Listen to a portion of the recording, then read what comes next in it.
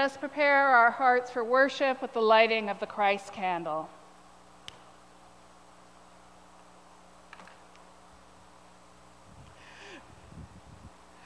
Due to the fact this is our candidate weekend, our service will start a little bit differently. Let us pray. Heavenly Father, we give you thanks for the gift of our nation. We give you thanks for the good that happens from border to border as we care for strangers, welcome refugees, and seek to walk the path of healing and reconciliation. Bless our nation, we pray, with your grace and mercy. Help us to become a place that all, where all are welcome and all are free. All this we pray in Jesus' name. And now I invite you to stand if you're able as we sing the two verses of O Canada.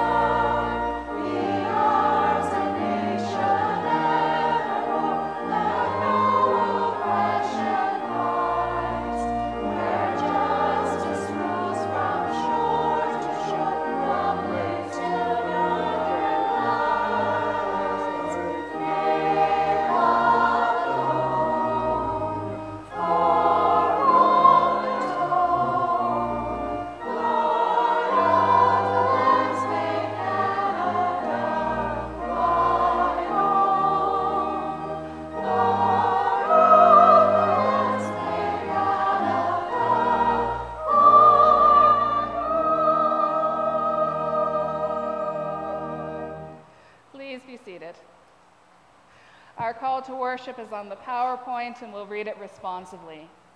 Come to me, all you who are weary and burdened. Christ calls, Bear my yoke and learn from me. Christ promises, I am gentle and humble in heart. Christ proclaims, My yoke is easy and my burden light. Come, you who are weary or burdened, joy filled or sorrowful, Christ calls us here. And again, I invite you to stand if you're able as we sing our opening hymn, hymn number 410 Joyful, Joyful, we adore you.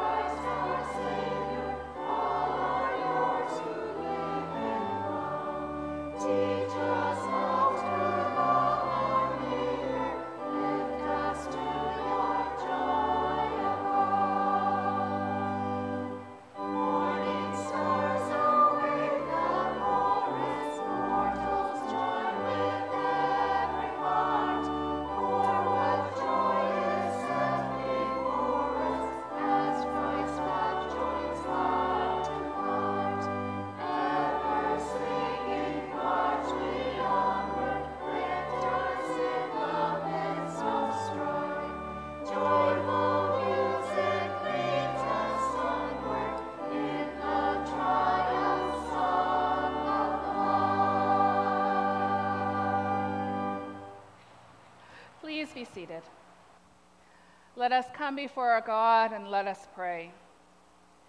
God of compassion and Father of everlasting life, we gather our hearts before you this day, ready to hear anew the story of our salvation, ready to be filled by your Holy Spirit, and ready to go out into the world to prepare the way for your coming kingdom of heaven. For we know that one day earth and heaven will be as one. For this is what you have promised to those who you love and call to be your own. So, at the start of our time of worship, we joyfully raise up to you our prayers of adoration and praise for all the good that you have given to your people throughout the ages. So, we ask that you would accept our sacrifice of prayer. Holy Lord, we praise you this morning for the world. This week we celebrate the birth of our nation, and so we praise you, loving God, for the beauty that is found all around us. From the mountains to the rivers, the plains to the fields, we know that we are blessed by everything that surrounds us, and we're daily reminded that you created our world out of love. And so we praise you, God, for the beauty of a flower in bloom, for the joy we find when standing in the rain for the peace we discover when watching the stars at night. We praise you, Lord, for the gift of our earth that you made for us.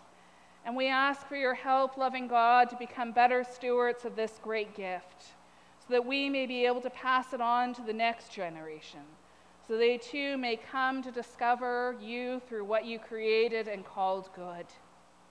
We praise you, loving God, for the wonderful gift of Jesus Christ for not only did you give the world the long awaited Messiah, but you love us so much you gave us your only Son, so that we could know that our God understands the challenges of living in a world that's not yet how it should be. We praise you, loving God, that Jesus came and lived among us, leaving his glory behind so that he could experience both the joy and sorrow of your people.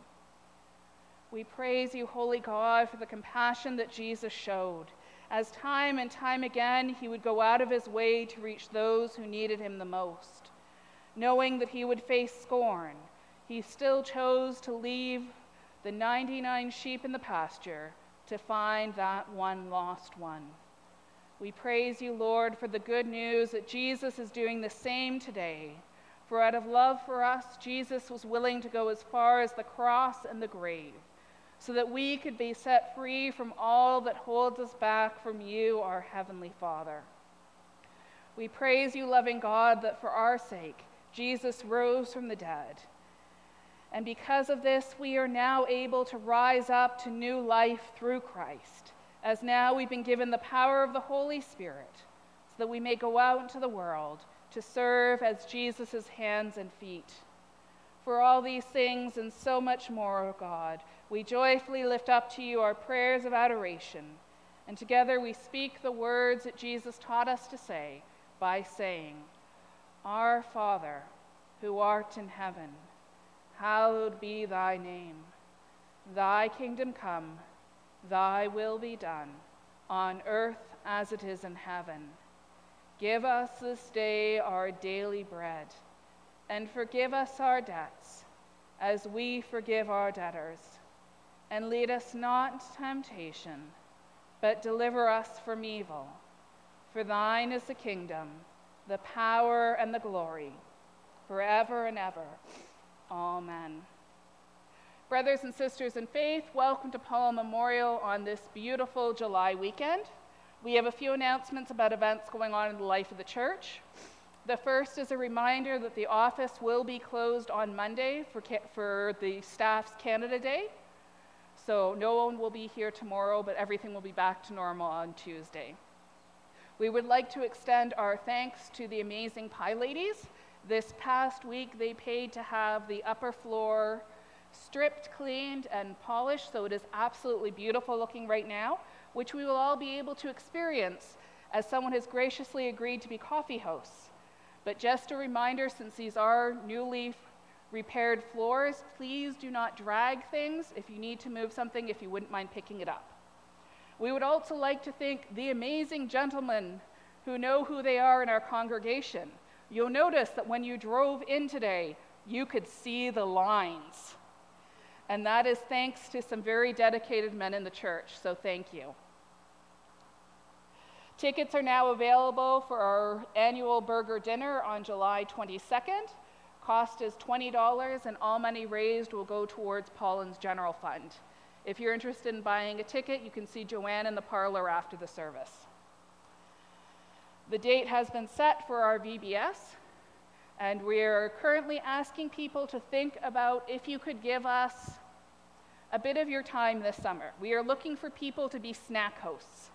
What this means, we provide the snacks, or you can provide the snacks, and you would help prepare them for the campers, serve them, and help clean up. If you're really adventurous, you could come for the entire day. If you're not feeling quite as adventurous, you could come for either the morning or afternoon. But we do prayerfully ask you consider doing this as it's great for the kids to see the members of the congregation active in their camp. Our next hymn is hymn number 339 Who Made the Earth and the Heavens.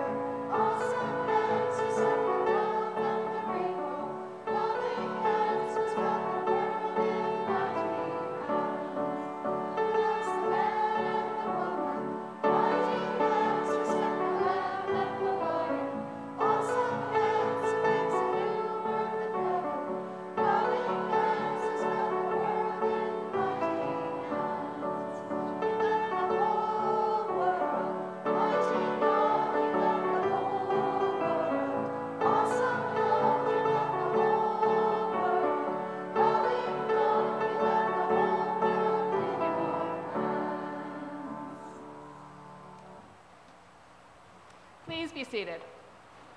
It is time for the children of God's children's story. And today, I'm going to be honest, I'm plugging a bit for the women's retreat, partially because it's going to be coming up in September, and partially because I'm really excited with what I learned. So if you notice in the bulletin, we are going to be studying the Lord's Prayer at the women's retreat. And I'm sure all of you are going, oh, yeah, the Lord's Prayer. We've all studied that. But I have a question for you. Do you know what it means when we say the Lord's Prayer and we say, Hallowed be thy name? Just that one line. What comes to our mind is usually, well, God is holy.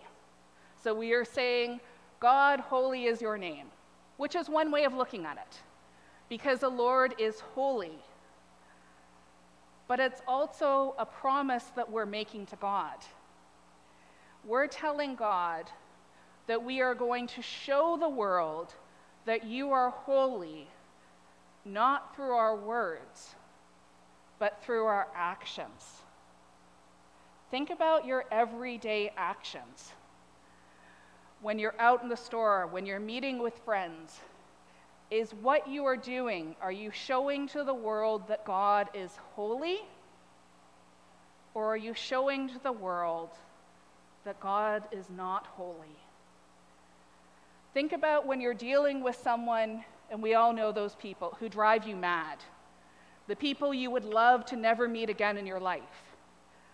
By the way you treat them, Are you showing them that the God you worship is holy because you're treating them with respect, with kindness, with patience? Or are you showing them something else? We don't often think about that part in the Lord's Prayer that holy is your name, that we are the ones who are responsible for showing the world how God is holy by showing the way that God has transformed us. And it's something for us to think about because we say these words on rote. We say them so much that you can say them so fast that you barely even think about them. But each line has a meaning. Each line is not only praising God, but the response that God wants from his people. And if you wish to know more, if you are a woman, you can sign up for the retreat. If you cannot come to the retreat, or you happen to not be a woman, after the retreat, I will lend you the book I'm using. and now Joanne is going to read our. Oh, sorry, it is birthday church. I am forgetting that this is a new month. So, just a reminder this is for people who wish to celebrate birthdays of loved ones, anniversaries, special events, or if your change is really heavy. All money that goes into our birthday church goes to support the work of Presbyterian Sharing.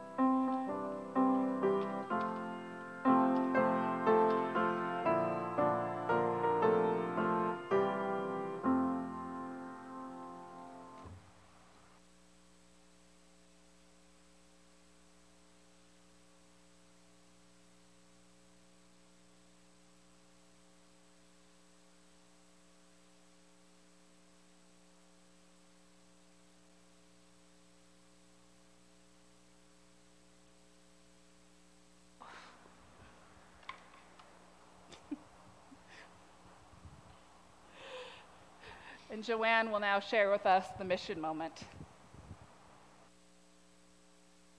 Mission moment. The earthquake experience is unlike any other, shared Dee, a 68 year old retiree. When a powerful earthquake struck the border regions between northern Syria and southeast Turkey, the damage and loss were overwhelming. The earthquake caused widespread displacement, with many people fleeing their homes for fear of aftershocks and further collapses. At the time, the Syrian population was already foundly impacted by the pers- persisting war and the country's economic collapse. PWS&D responded through our partners to provide temporary shelter, much needed mattresses, blankets, hygiene kits, hot meals, and psychological support to affected families. In addition, with Canadian Foodgrains Bank, our partners are providing monthly food rations to those most affected.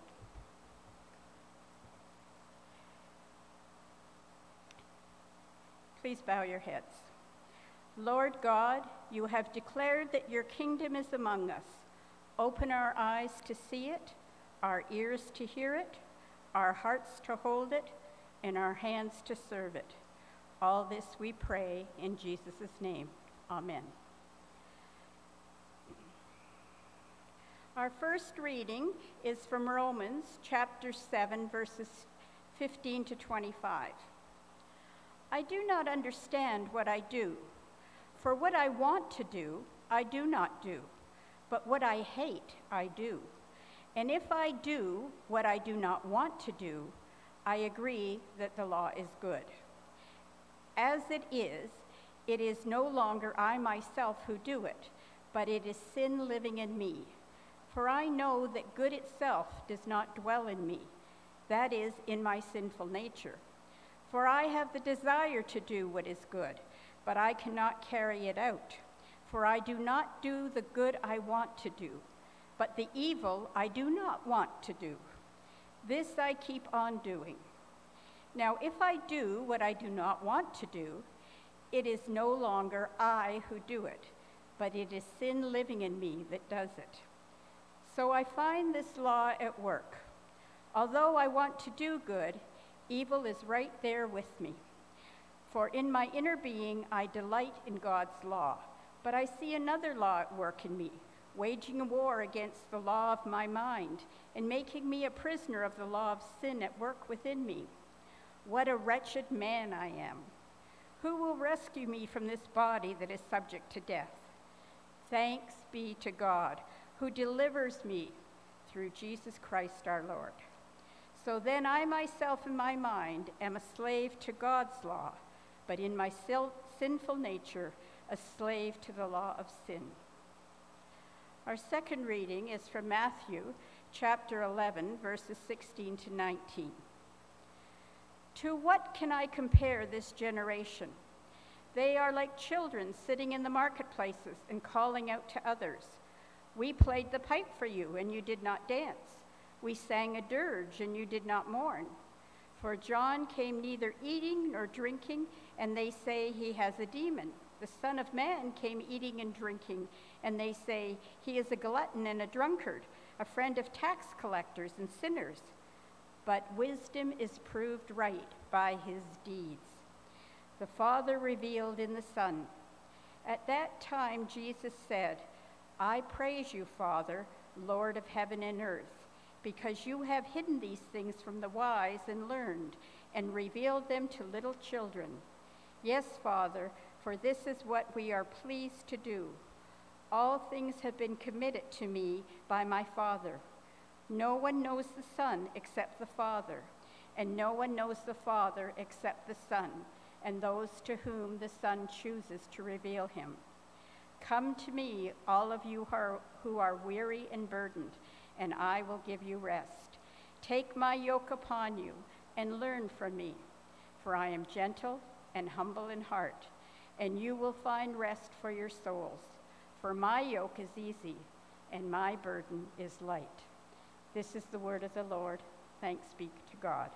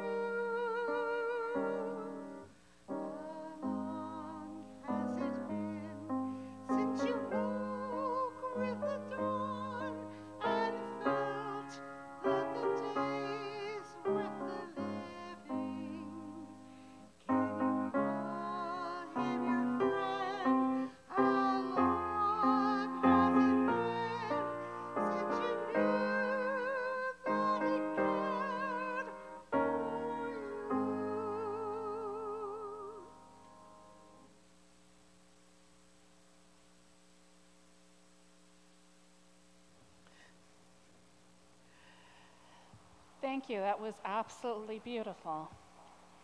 Let us pray. May the words of my mouth and the meditation of all of our hearts be acceptable to you, Lord God, our rock and our Redeemer. Amen. It's just that snap of a finger and that it, it just sends me back.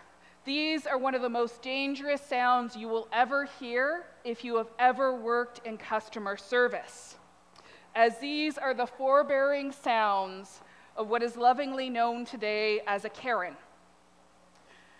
This, the stereotype of a Karen has gone by many different names over the generations, many names which I should not say inside of a church. But it's a cultural name given to people that are convinced that they are the only person in the universe and everyone should stop what they're doing and do immediately what they ask.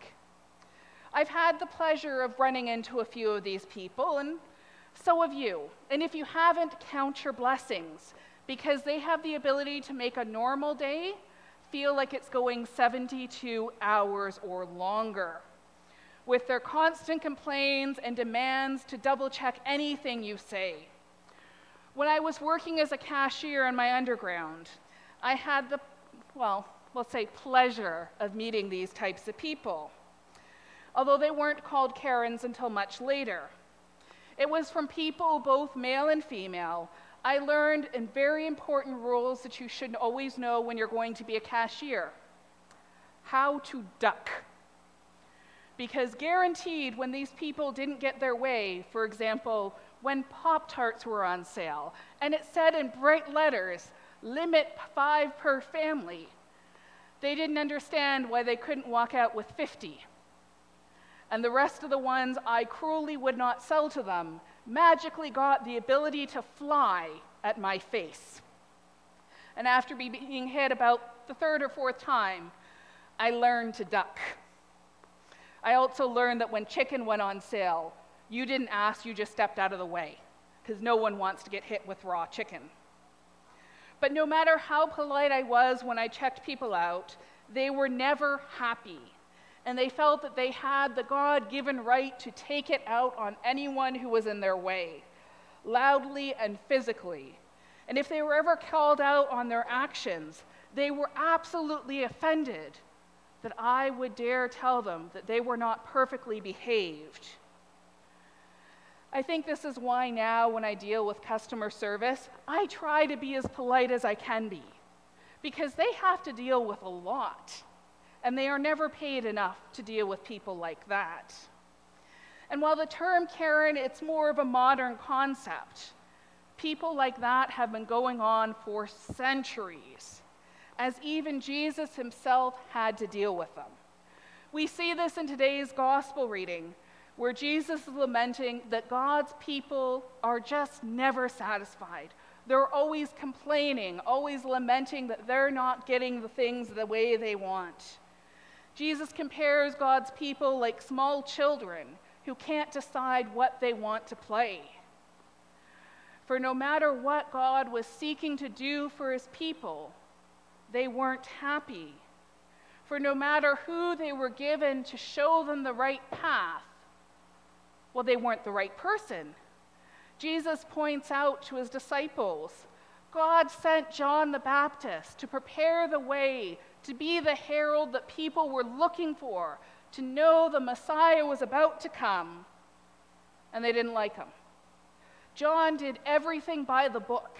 If you compare John to Isaiah or Jeremiah, he would have fit in. For John, during his ministry, he chose to follow the rules of a Nazarene. That meant he didn't drink alcohol, he didn't cut his hair. He wore the traditional clothes of the prophet, camel hair. And people called him a demon. They called him a disgrace, even though he abstained from food and fancy drink and chose to live away from the community to be closer to God. They called him a demon because he dared to say that people needed to repent and be right with God. He dared to tell people that they weren't in a good relationship with the Lord but there was still time to change their ways. And his message was scorned, so much so that it led him to losing his head. As people proclaimed, he wasn't sent by God, but from below. We know that a few people did listen to John what he had to say because they knew that they needed to be made right with the Lord. But countless others dismissed him because he wasn't giving them the message they wanted to hear. Because who really wants to hear, you've fallen short of what God has asked you? And then we come to Jesus, who at first glance seems to be the exact opposite of John. For while John lived in the wilderness, Jesus worked in the cities. Where John cried out for repentance, Christ proclaimed, You are forgiven where John limited what he ate, Jesus was free to eat with whoever he pleased, going as far to break bread with sinners. And even though Jesus was the exact opposite of John, the people were still not willing to accept him, not willing to accept the good news because he wasn't like John. They wanted jo- Jesus to become more like John and John to become more like Jesus. Is it any wonder why Christ got a little bit frustrated with the very same people he was sent to save? Because no matter what God did, it was never right, it was never enough. Nothing seemed to be good enough for God's beloved people. And well, sadly, the same can be said about us today. For although we do attempt to rein in our inner Karen, each and every one of us, well, we can't help it. We have those tendencies. For example, hypothetically, if we were to say that starting next week, we are going to be putting all of our effort into building up our Sunday school program. We're going to gear worship to children. We're going to gear music to children you might be going, Well, that's nice. It would be nice to see some kids in the congregation. But what does that do for me? Why are you putting all your time and effort into this when don't you see that I need something too? It's that little bit of Karen bit of us. Or perhaps, for example, the community you live in. You find out the city is going to build a beautiful park and walking trail right by your home. And you're going, oh, this will be lovely. We'll have this view. And then two weeks after it's up, you're going, why did the city do this? The kids are playing basketball all night, and I'm never getting any rest. Again, it's our inner Karen. All of us have that inner voice that likes to complain about anything and everything. I'm just as bad. Currently, it's a nice day outside for summer, and I'm complaining that it's not winter yet. Many of you will have the opposite view. And I'd like to think that my inner voice doesn't come out as much as it does, because, well, that voice doesn't often have anything to say that's nice.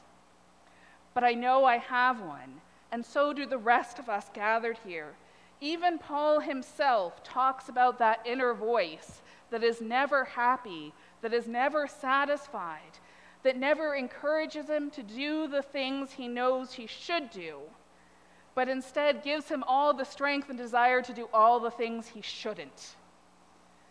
Not a single person in this room or in any room on earth is perfect.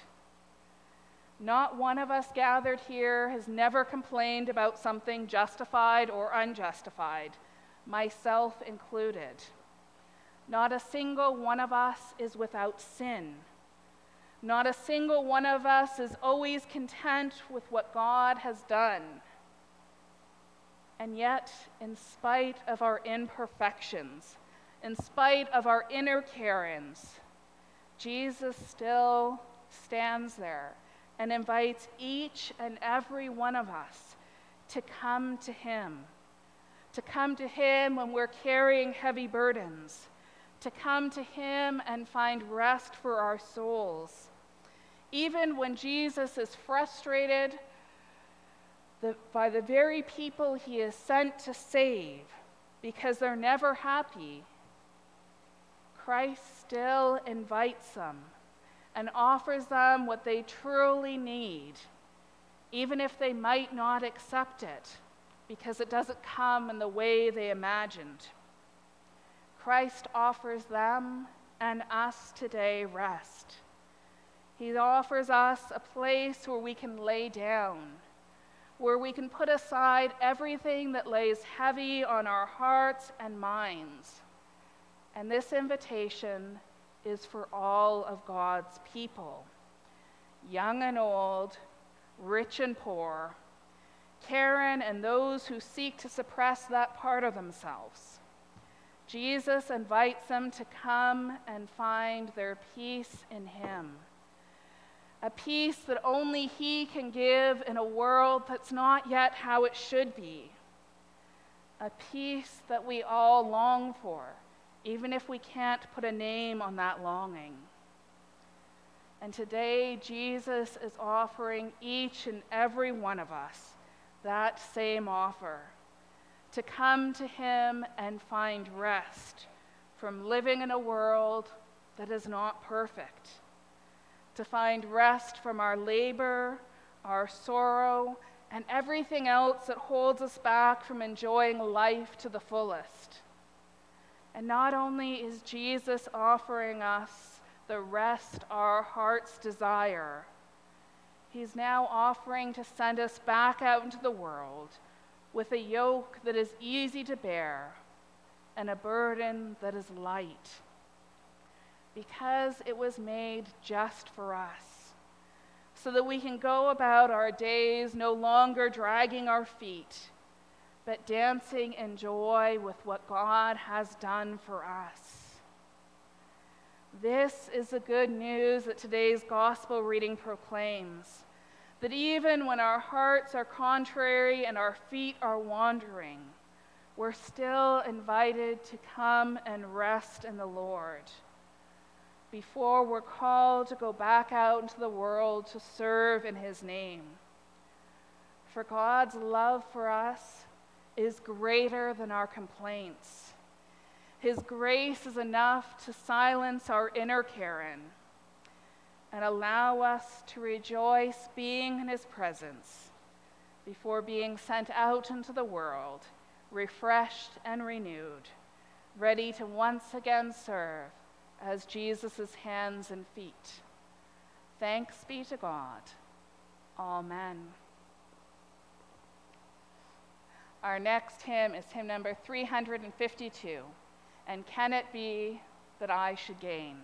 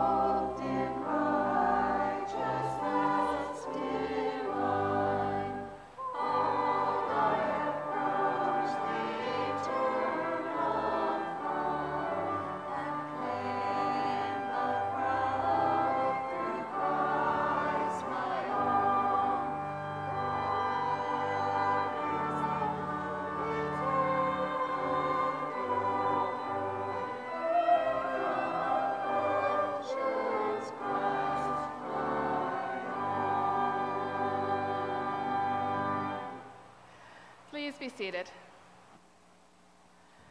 Let us come before God and let us pray. Give thanks to the Lord, for he is good. His steadfast love endures forever. Give thanks to the Lord in all things, for he is our rock and our Redeemer. Holy Lord, we joyfully come before you once again in this moment of prayer as we stop for a moment to count our blessings, for our cups overflow with the goodness and mercy you so freely pour out upon your people. Heavenly Father, we give you thanks this morning for the compassion you have shown your people throughout the generations. We confess that we are not always the easiest to love, and often we do what we know we should not do. And yet your love is greater than our mistakes, greater than our weakness, as time and time again you have raised us up when we stumbled and forgiven us when we were led astray. We thank you, loving God, for the good news that no matter what, you are always with us, offering us comfort when we need it, strength when we feel weak, and the promise of life after death in your holy kingdom, even if all we have is the smallest amount of faith. We thank you, loving God, for the gift of Jesus, who came not as we expected, but instead came in the form of the suffering servant that we all needed so that we could find forgiveness and new life in his name. We thank you, Heavenly Father, for the way in which your Holy Spirit is still active in our world today, inviting us just as we are now to step up and serve as Jesus' hands and feet, so we can do our part in preparing the way for your coming kingdom of heaven. At this time, Holy Lord, we now lift up to you all that lays heavy on our hearts and minds knowing that you will always listen to your children praying. Creator God, we lift up to you the places and people that have been affected by the most recent days of poor air quality. With summer just starting, we know there will be more days when people will struggle to breathe and to go about their daily activities. So we ask that you would watch over those who are most affected during these times, those who have chronic lung issues, those who have chronic illness, and those who are underhomed, for we know that they will be the ones who struggle the most during this time. We pray, Creator God, for the wisdom to find ways to prevent the ongoing wildfires, that people will wake up and see that we are the cause, and so we now must become the solution, so that summer can remain a time of celebration and not of fear. We continue to pray, loving God, for those who have become refugees as they leave their homes and search for a safer place for their lives and the lives of their children. Father, help us to remember that your own son was a refugee, from fleeing to Egypt to escape the madness of an unjust king. Teach us to see Christ standing there with those who are asking for aid, to see him in boats filled to a dangerous level for the sake of a better life. Teach us once again, loving God, to welcome the stranger, as all people should have the right to live without fear in their hearts. We raise up to you today, loving God, the many programs that are now at hard at work to care for your people during the summer months. We pray for the works of Street Help and the Downtown Mission that seek to serve the most vulnerable during summer heat waves, and the programs that are built to help raise up those who have stumbled on the road of life. We pray, loving God, for those who are ill, those who are recovering, and those who are struggling with long term mental and physical health challenges. Be with your people, loving God, for we need you now more than ever. All this we pray in Jesus' name. Amen as we're reminded of all the good that God has done for us, we respond in kind with our tithes and offerings.